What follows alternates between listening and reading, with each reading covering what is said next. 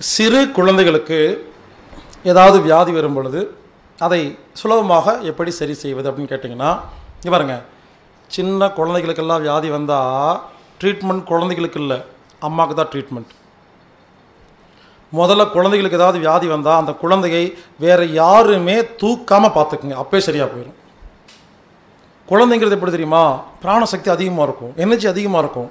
இப்போது யாராவது டெய்லி தண்ணி அடித்து பான் பிராக் போட்டு தம்மெல்லாம் அடித்து உடம்பு வீக்காக இருக்கிறாங்க. அவங்க வீட்டுக்கு வராரு.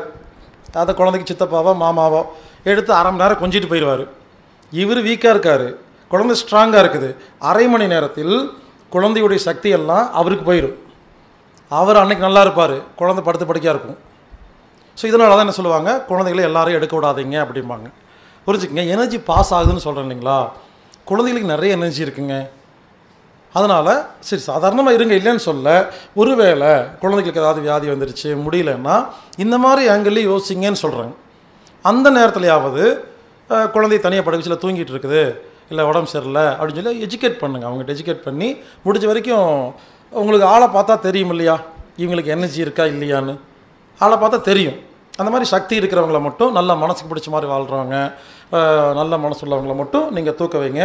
சில பேர்த்த பார்த்தாவே கண்டுபிடிச்சிடலாம். அதுகளே சரி இருக்காதுங்க அப்போ அவங்கள கூப்பிட்டு நம்ம குழந்தையில கொடுக்கக்கூடாது. ஸோ அதை கொஞ்சம் யோசிங்க. இன்னொன்று குழந்தைக்கு எந்த வியாதி வந்தாலும் அதுக்கு அம்மா தாங்க காரணம். அம்மா இவங்க ஏதாவது கவலைப்பட்டே உட்காந்துருப்பாங்க குழந்தை கையில் வச்சுட்டே இருப்பாங்க. அந்த கவலை குழந்தைக்கு தானே போகும்? அதுக்கு தெரியுமா? அதுக்கு என்ன பண்ணுறோன்னு தெரியாத நோய் வந்துடும் ஸோ அம்மா தான் குழந்தைய அடிக்கடி தூக்குறாங்க பக்கத்தில் இருக்கிறாங்க கனெக்ட் பண்ணியிருக்கிறாங்க.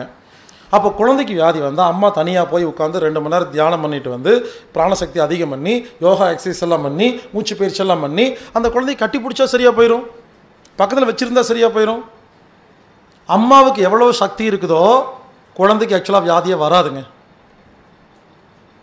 ஸோ நான் சொல்கிறது அந்த அம்மா கூடவே இருக்கிற குழந்தைகளுக்கு. கொஞ்சம் அதுக்கப்புறம் நடந்து விளையாட ஆரம்பிச்சதுக்கப்புறமா அது வேறு. அம்மா கூடயே கட்டிப்பிடிச்சி சின்ன குழந்தையா கை குழந்தை இருக்கு இல்லைங்களா?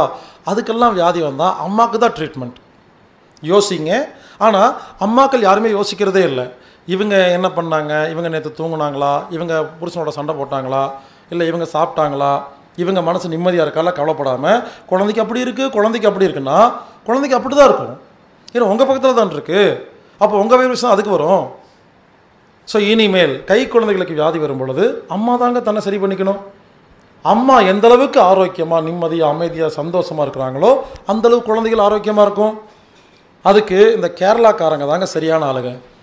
யோசிச்சு பாருங்கள் மலையாளிஸ் பாருங்கள் எவ்வளோ பெரிய வேலை சிங்கப்பூர் மலேசியாவில் துபாயில் வேலை செஞ்சுட்டு இருந்தாலும் பெண்கள் கர்ப்பமானால் வீட்டுக்கு ஓடி வந்துடுவாங்க ரிசைன்மெண்ட் வந்துடுவாங்க அப்படி ஒரு வேலை தேவையில்லைன்னு. ரிசைன் பண்ணிட்டு தரவாடு.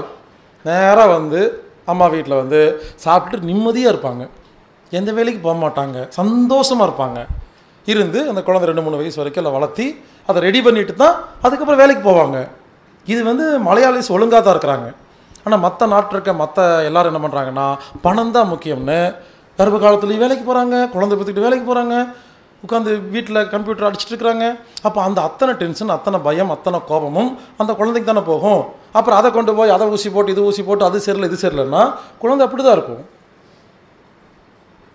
ஸோ என்னை பொறுத்த வரைக்கும் கர்ப்ப காலத்துலேயும் குழந்தை ஒரு ரெண்டு மூணு வயசு வாழ வளர்கிற வரைக்கும் அம்மா எந்த வேலைக்கு போகக்கூடாது? ஜாலியாக இருக்கணும் சந்தோஷமாக இருக்கணும். அதுக்காக வீட்டு வேலை செய்யாமல் இருக்கக்கூடாது. ஆ அவர் சொல்லிட்டாருன்னு சொல்லிட்டு நீ சமான் சொல்லிட்டு உட்காந்துருக்கக்கூடாது நான் முதலே சொல்லி வச்சிடுறேன். ஏன்னா சில பேர் இந்த வீடியோ பார்க்குறக்கு வாய்ப்பு இருக்குது ஸோ புரிஞ்சுக்குங்க. சாதாரண வேலையெல்லாம் செய்யலாம். டென்ஷன் ஆகிற மனதுக்கு புத்திக்கு பிரச்சனை கொடுக்குற வேலையை மட்டும் செய்யக்கூடாது. ஜாலியான வேலையெல்லாம் பார்த்துக்கலாம். அதனால் சின்ன குழந்தைகளுக்கு வியாதி வரும் பொழுது அம்மா உங்களை தயார் செய்யுங்கள்.